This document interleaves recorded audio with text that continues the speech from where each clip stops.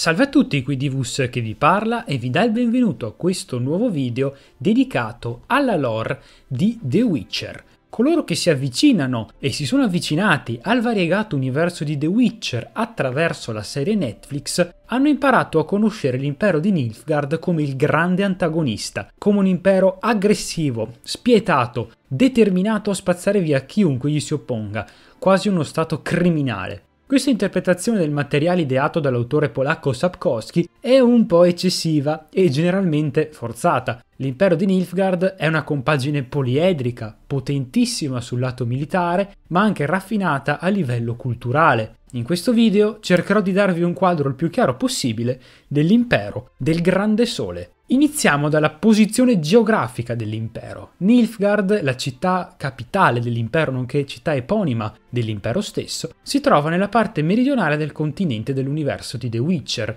abbastanza lontana quindi dai più celebri regni settentrionali quali non so, Temeria, Redania, Kedwen e altri ancora. La storia di Nilfgaard è segnata da diverse conquiste territoriali. La sua espansione può infatti essere paragonata a quella di Roma antica, la città a cui Sapkowski si è palesemente ispirato per molti aspetti nella realizzazione dell'impero nilfgaardiano. Nilfgaard era una città-stato che via via ha espanso i propri territori, inglobando città e regni limitrofi, come ad esempio Metinna, Ebing, Nazer, Vicovaro, Maikt, Toussaint e altri ancora. Alcuni regni furono direttamente inglobati nell'impero, con annessi governatori imperiali, altri invece furono trasformati in feudi o stati vassalli, retti dal sovrano locale in nome dell'imperatore, come appunto il celebre ducato di Tuisan, una terra pacifica e celebre per il vino e soprattutto per l'atmosfera quasi fiabesca.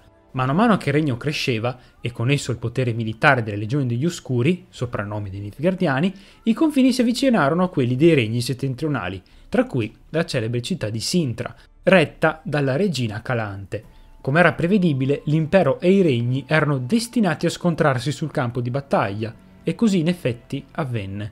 L'impero lanciò due offensive a nord, tre se includiamo l'universo dei videogiochi realizzati da CD Projekt Red, per provare a piegare i vari regni. Sintra non poté nulla contro le forze dell'imperatore Emir Var Emeris, la fiamma bianca che danza sulla tomba dei nemici. Altre celebri battaglie furono quelle di Sodden e di Brenna. In quest'ultima i regni settentrionali riuscirono a fatica a respingere le schiere degli oscuri. In The Witcher 3, in base alle scelte del giocatore, la terza guerra del nord può finire in vari modi, quindi o con la vittoria di Nilfgaard o con il successo della Redania. Nilfgaard però non è stato in guerra solo con i regni settentrionali, ma anche con i clan delle isole di Skellige, che spesso si lanciano in razzie e incursioni proprio sulle coste dell'impero. L'espansione di Nilfgaard non si è spinta solo verso nord, ma anche verso sud, dove però ha incontrato grandi difficoltà, viste le popolazioni che vi abitano e soprattutto il clima di queste regioni più desertiche e assolate.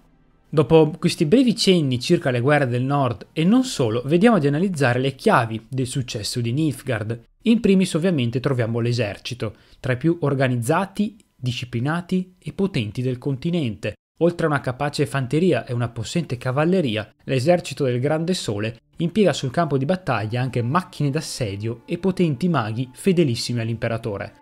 Il reparto più celebre dell'esercito nilfgaardiano è la famigerata Legione Alba, che prende il nome dal fiume che cinge la capitale stessa, ossia appunto il fiume Alba. Tra i comandanti militari più celebri dell'impero troviamo Menno Coehorn, Tibor Egerbracht e Morvran Voris, quest'ultimi guidarono proprio la Legione Alba. Ma l'impero non si affida solo alla mera forza bruta dell'esercito. Nilfgaard addestra anche abilissime spie. L'intelligence degli oscuri è temuto in tutto il continente. Ovviamente spesso le spie possono diventare anche assassini e sabotatori, capaci di destabilizzare un regno nemico senza battere ciglio. Il celebre leader dell'intelligence nilfgaardiano, Vattir Derrido, gioca un ruolo importante nella saga letteraria, visto che è tra gli organizzatori degli eventi dell'isola di Taned. Questa è un'altra complicata questione, chi ha letto i libri ovviamente ha capito a cosa mi riferisco.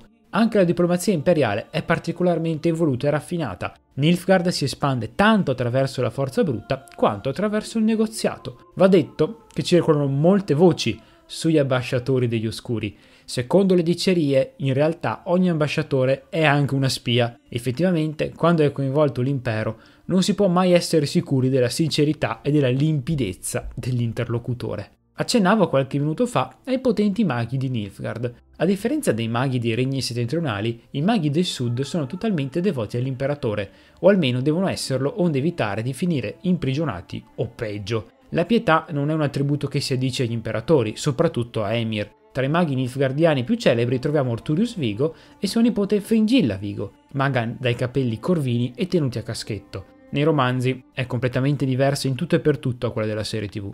Vi è poi la maga Assirvar Anid che combatte anche sul campo per l'impero ed è celebre perché riesce a portare con sé un gatto tale Merlino e di solito i gatti non vanno molto d'accordo con la magia. Nei romanzi non è assolutamente presente la dimensione autolesionistica della magia, quella è un'aggiunta, a mio avviso, insensata della serie tv.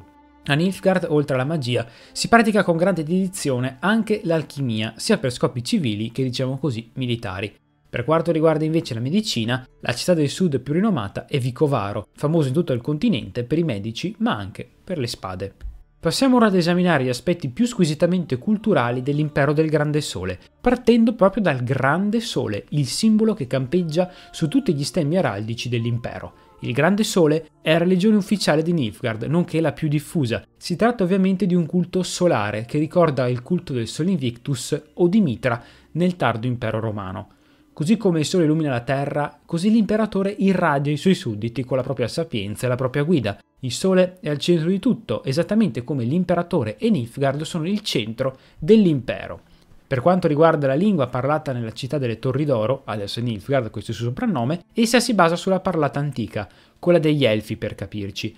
Ciò sottolinea un certo debito culturale di Nilfgaard nei confronti del passato elfico del continente. Ovviamente è più evoluta e ha influenze dialettali diverse, ma in qualche modo ricorda appunto la lingua degli elfi. A livello di mentalità, diciamo così, generale, Nilfgaard è molto più progressista e aperta rispetto ai regni settentrionali. Anche la tecnologia e la scienza sono globalmente più avanzate nell'impero, anche grazie alla ricchezza dell'impero stesso che consente un maggior investimento nella ricerca.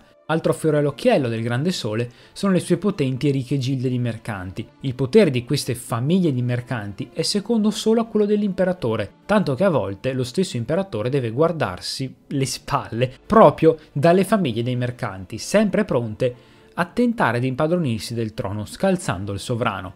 La lotta per il trono imperiale può essere spietata, che sorpresa. Di solito la successione avviene per linea di sangue, ossia il figlio succede direttamente al padre, ma non sempre è andato tutto così liscio nel corso della storia dell'impero. Vi è stato ad esempio un usurpatore che, essendo un signor nessuno, ha comunque preso il potere con la violenza. Bene, giunti a questo punto, Dopo aver esaminato un po' in generale alcune delle caratteristiche principali dell'impero, cosa possiamo dire di Nilfgaard? È davvero così malvagia, così eh, espansionista e cattiva? La risposta ovviamente è un sì e un no allo stesso tempo. Nilfgaard è l'invasore del nord, è una potenza imperiale dedita alla guerra e alla conquista militare, ma anche i regni del nord sono bellicosi e pronti alla battaglia. Quindi niente di nuovo sotto il sole, insomma.